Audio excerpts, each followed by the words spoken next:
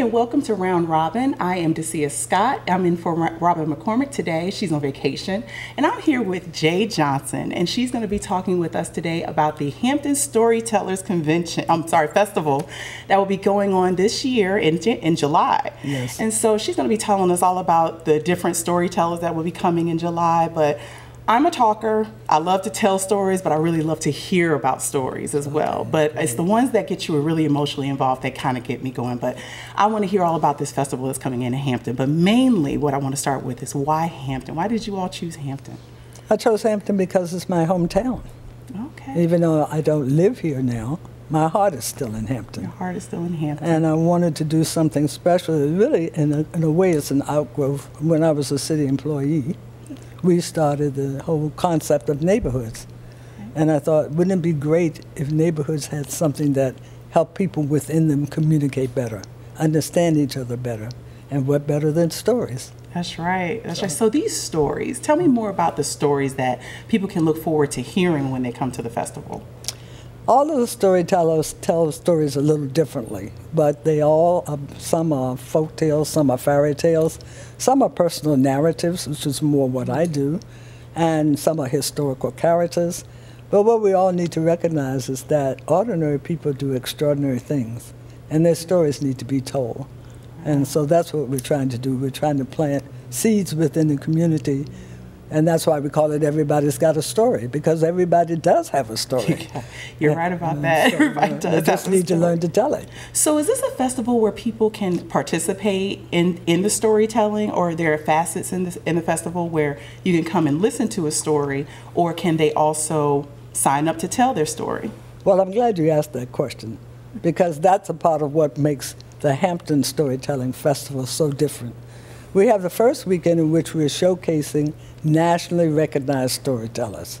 I mean, Hampton's going to be very fortunate to have three or four people who are known all over the country. Okay, who, like who? Like Dylan Pritchett, like Sheila Arnold, like Jessica uh, Robinson. Okay. You know, those three people particularly. Jessica, Jessica Robinson started a whole outfit in Fairfax called Better Said Than Done. Oh, yes. And she has one of the most fabulous women's storytelling festivals on the East Coast.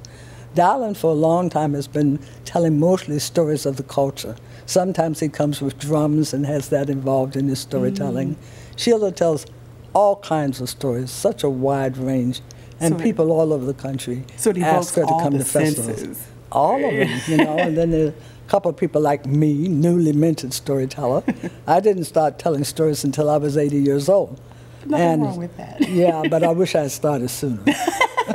Nothing because it's fun. It is such it's fun. fun. Yes. It's fun. So, how? What are the ages that people can come to the festival? Is it something for all ages? Are there particular genres? There, all of the storytelling festival uh, events will be what we call family friendly. But there are, I think, either three, maybe four on the calendar that are designated as children's stories. So they're particularly suited to younger people. Okay. But most of the stories are intergenerational. Intergenerational, that's right. great. Yes. Because I know as we kind of we we look at the generations, we think of teen. I mean, we yeah. think of children and we think of adults listening, but we have this one the, the, the teens right. that we kind of miss. Will there be something for them as well? Okay, so let me say that first weekend I told you is the national showcase. Mm-hmm. Then we have a week in between we're calling the Storytelling Academy. Okay. Where people can come and learn how to tell stories. Okay. okay. The last weekend is the local showcase for storytellers. All right. So let me tell you how we get those local storytellers. The first weekend we have an audition that's scheduled, and people can come in and audition their own stories. This is Hampton people. Okay. What we want them to do is to include Hampton in their stories, oh. but other than that, the story can be whatever they want it to be how your family came here, how your parents met here, you know, what your experience in school or whatever, whatever. And uh, those people who go through the audition are going to be tutored during that middle week okay. to perform at the local storytelling showcase on the last weekend. On the last weekend. And where is that going to be at? That's going to be at Northampton Community Center. Northampton Community Center. Right. Okay. Yes. Great. Yeah. I have a lot of dates and places Okay. in my head, so it gets a little complicated. Oh, that's no but problem. it'll be all, all be on the website. On the website, which Yes. is what? www.hamptonstl.org. hamptonstorytelling.art, A-R-T. Okay, hamptonstorytelling.art. Art. Okay, Yes. we'll definitely put that up on the Right, website as we do this in, Yes. in the end. But this sounds so intriguing. So not only are you providing a way for people to come to hear stories being told, but they can also learn how to tell stories. Absolutely. In a way that does it for me to evoke the mind, body, and soul and make it to where that they tell compelling stories so Mm. They don't have to wait as long as you might have and say, oh, okay, I'm telling stories for 80 years instead of for the last five That's years. true.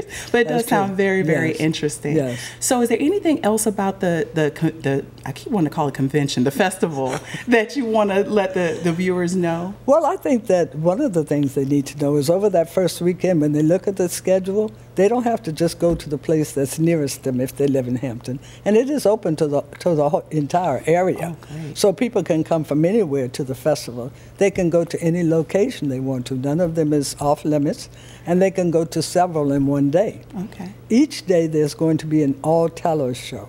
Mm. On Friday, the all tellers show is focused on seniors as an audience, not as the stories. Okay. And that one is going to be held at. It escaped me, but I'll get back to Okay. no, no worries. I think the dates and times will be on the website. Thank you. I'm glad. But let me make sure. I- wait a minute. Oh, the second mm-hmm. All Tellers is going to be on Saturday. That's at Hampton Baptist Church. The third All Tellers is Sacred Stories on mm-hmm. Sunday of the first weekend, and that's going to be at Victoria Station on Mellen Street. On Mellen Street. Yes. Okay. And so the whole festival itself lasts from July 22nd, 23rd? July 13th. July 13th Through until the- the, through the 22nd. 22nd. That's it. That was the date. So that was the whole week. We start from one weekend and lasts all through the Yes, following weekend. yes. Okay, that that Right. works for me. All right, Okay. Ms. Johnson, I Uh, appreciate you. yeah. All right, so if there's nothing else that you would like to add, I want to say thank you so much for being on our show today. it is a thank you. pleasure meeting you, and it's so nice to have you come back to Hampton to tell your stories and knowing Thank that you're a. Hamptonian and that your heart is here in Hampton. We'd love to have you here and tell your stories as well. Absolutely. Everybody's got a story. Come out and tell your own story as well. Fantastic, Ms. Johnson. Thank Thank you. you so much. Thank you. And thank you all for watching. Thank you and have a great day. See you soon.